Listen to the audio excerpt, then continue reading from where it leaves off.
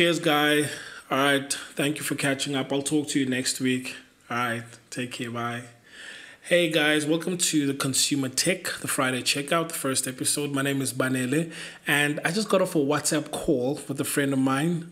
Guess what? On my PC. Yes, on my PC.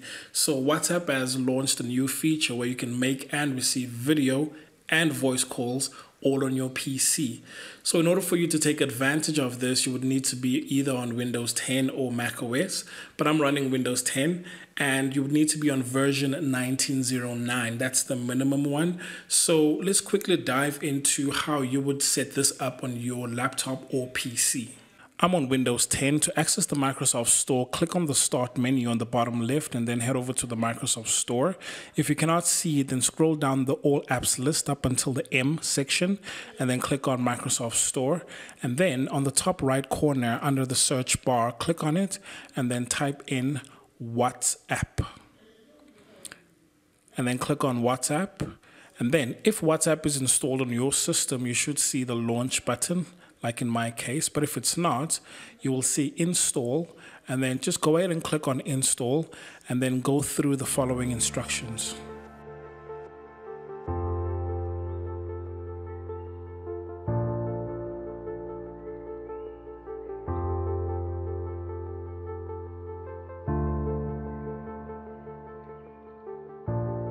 I don't know about you, but I hate standing in long queues to deposit money at an ATM or inside the branch, which is hella expensive. But the ShopRite Group, along with a number of banks, have partnered together to create a simpler experience for customers to deposit money into their accounts. So you can walk into either a ShopRite, a Checkers, or a USave and deposit money, and there is a fee. And the fee is 19 rands 95 cents. So the, the banks that are currently supported is Nedbank, FNB, Investec, Standard Bank, African Bank, TymeBank, of course. And on the list, I don't see Capitec as well as ABSA, so I'm not sure. Maybe they're coming at a future date, but for now, these are the banks that are supported. And like I said, you pay that 19 rands 95 cents, and you might be asking, so cool, what if I deposit money right now? How long will it take for it to reflect? I don't know. I honestly don't know how long it will take, but I'll be sure to use it. And as soon as I've you know gone through the whole experience i'll do a follow-up video to let you know how the whole experience went. But um, the experience guys should be ideal for individuals that are maybe let's say in rural areas or if you're at a mall and you don't feel like jumping around in, in these different shops you can deposit money right from the supermarket and I think this is dope. I think this is dope. I mean, gone are the days where you deposit a check and it only reflects after two weeks. But the one thing I'd like to see is interoperability as far as the banks are concerned, as far as um, if I'm using a different bank and I'd like to send money to you, why should it take a day or two? At least let it be a few hours without having to pay extra immediate fees. If you are a sports lover like myself, but I only love Chelsea. I don't even watch local football. I'm so terrible. But anyway, if you're a sports lover, you'll be happy to know that next week, on the 13th and 14th of March, DSTV will be opening all channels, all sports channels, for you to watch free of charge. So if you are not on the premium package, if you're on anything below that, then you'll be eligible to watch these channels. And for you to do that, you would have to log into your DSTV app, which is now called, wait, wait, wait. Formerly, it was called uh, DSTV Now, but it's now called DSTV App. So you log in with your credentials and you'll be able to watch sports the entire weekend on the DSTV app. And if you want to upgrade, yeah, you're welcome to do that. But uh, you'll be able to see a lot of these. Um, uh, sports channels that are available on DSTV. That's if you are a full sports lover. So you can look forward to watching the PSL, the La Liga. I love wrestling, so I'll probably be watching a lot of wrestling, Six Nations fights, and all of that stuff. So look forward to it, guys. Next week on the 13th and 14th of March, um, but only on the DSTV app, which is on your smartphone or tablet. So, guys, as you know, today is Friday, and after this, I'm going home to watch a little bit of Netflix and fall asleep.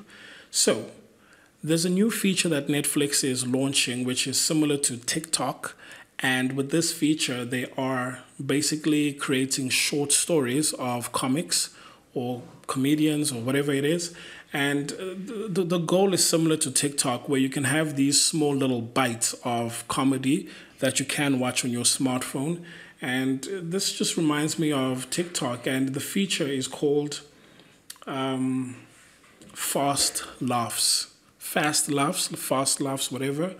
And yeah, I mean, if you've got a Netflix account, you'll start seeing these funny clips from Murder Mystery, Big Mouth, The Crew, as well as as well as stand-up comedians like Kevin Hart and so on.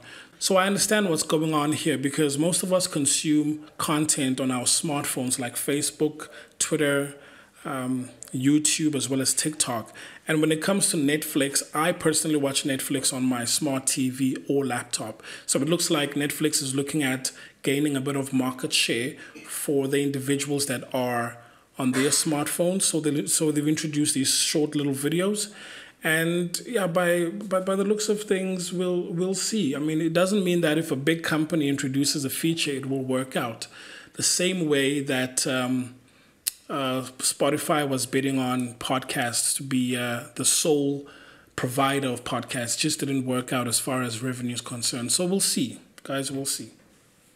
So the Huawei Mate 40 Pro is set to launch in SA in April next month, and I've got a lot of questions regarding that. For instance, I've never used Huawei outside the Google services. And as you know, guys, um, with the Trump bans and all of those restrictions, Huawei was then forced to create their own mobile services. So, for instance, now if you buy a Huawei phone, you're not getting Google mobile services, you'll be getting Huawei mobile services. So, what does this mean? This means that there is no YouTube for you, there is no Google Apps and anything that is YouTube tied. So, for instance, there are some banks that make use of the Play Protect services. So, these banks, you can't get them on the uh, um, Huawei devices. But other than that, as far as the hardware is concerned, these phones look absolutely gorgeous because I owned one before the ban, and yeah, tragically, I lost it.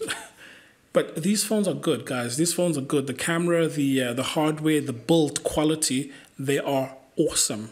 So the question is now that Huawei has Huawei mobile services, um, I don't know if people are switching to these smartphones, and I guess I would have to then get a device that I can play with for an entire month using Huawei mobile services and see if whether I do miss some of the uh, Google Play services that come baked in with a phone that has Google Play services.